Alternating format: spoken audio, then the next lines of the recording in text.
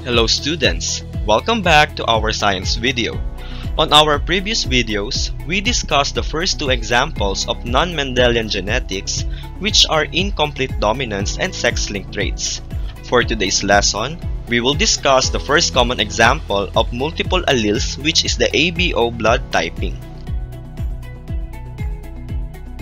At the end of this video, viewers are expected to use the Punnett square to solve for non-Mendelian inheritance. To start this lesson, let's define first multiple alleles. Multiple alleles is when there are more than two alleles for a gene present in a population. Example is our blood type. Blood type consists of two dominant and one recessive allele options wherein both allele A and B are dominant over allele O. ABO blood group system, the classification of human blood based on the inherited properties of red blood cells or erythrocytes, as determined by the presence or absence of the antigens A and B, which are carried on the surface of the red blood cells. Persons may thus have type A, type B, type O, or type AB blood. Check the table to see all the possible genotypes for each blood type. Blood type A and B can be homozygous or heterozygous for allele A and allele B, while presence of both allele A and B will give a blood type AB. Since A and B are both dominant allele, it follows the concept of codominance. Both allele will be expressed as the phenotype. Lastly, blood type O will only be expressed if there is an absence of a dominant allele To summarize, a description of the pair of alleles in our DNA is called the genotype. Since there are three different alleles, there are a total of six different genotypes at the human ABO genetic locus. The different possible genotypes are AA, AO, BB, BO, AB, and OO. People with type A blood have the antigen A on the surface of their red blood cells, while people with type B blood have the B antigen. Individuals with type AB blood have both A and B antigens, whereas people with type O blood have no antigens present. Take note that there is no such thing as antigen O.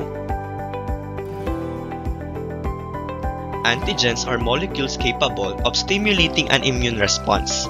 Each antigen has distinct surface features or epitopes, resulting in specific responses. Antibodies or immunoglobulins are Y-shaped proteins produced by B cells of the immune system in response to exposure to antigens. The immune system forms antibodies against whichever ABO blood group antigens are not found on the individual's red blood cells. Thus, a group A individual will have anti-B antibodies and group B individual will have anti-A antibodies in their blood plasma. Agglutination is a reaction in which particles, either it's an RBC or bacteria, suspended in a liquid collect into clumps and which occurs at a serologic response to a specific antibody. The test to determine your blood group is called ABO typing. Your blood sample is mixed with antibodies against type A and B blood. Then, the sample is checked to see whether or not the blood cells stick together. If blood cells stick together or agglutinate, it means that the blood reacted with one of the antibodies. The most common blood type is O, followed closely by type A.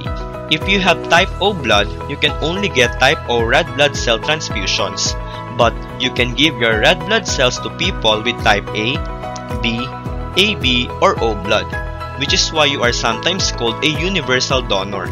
And if you are type AB, you are called universal recipient since you can receive all the types of blood. The rhesus factor is an important characteristic of blood cells. It indicates whether the blood or two different people is compatible when mixed, such as the blood of the mother and her baby at birth. If they have different blood group characteristics, it may cause problems.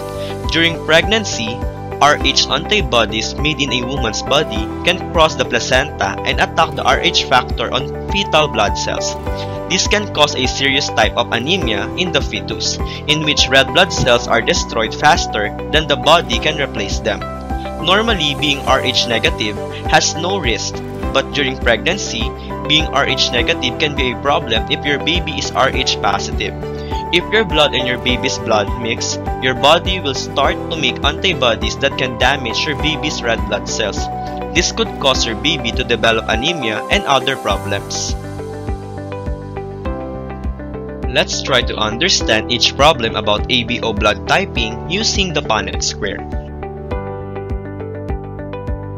Show the cross between a mother who is heterozygous for type B blood and a father who is heterozygous for type A blood. The following could be the possible blood type of their offspring. It can be blood type AB, B, A, and O. Both genotypic and phenotypic ratio will be 1 is to 1 is to 1 is to 1.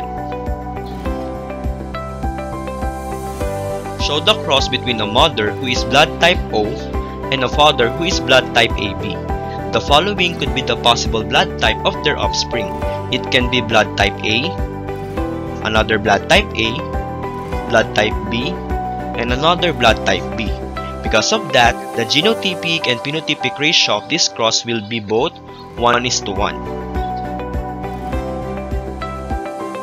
Thank you for watching. Do not forget to subscribe to be updated for more science educational videos.